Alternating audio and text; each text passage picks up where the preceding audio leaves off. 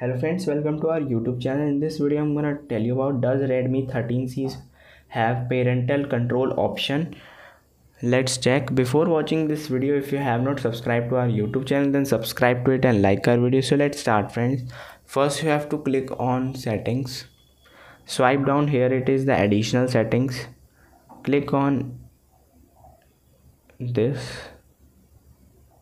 And you can if you have feature in this you can have to click on additional settings. If there is not you have to click on digital well-being and parental control.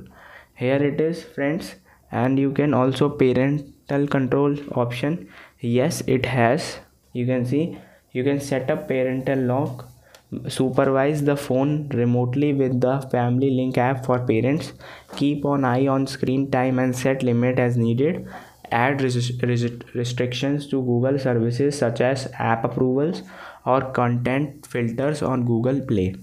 I hope you like this video. If you like this video then subscribe to our YouTube channel for more helpful tips and tricks videos. See you next time.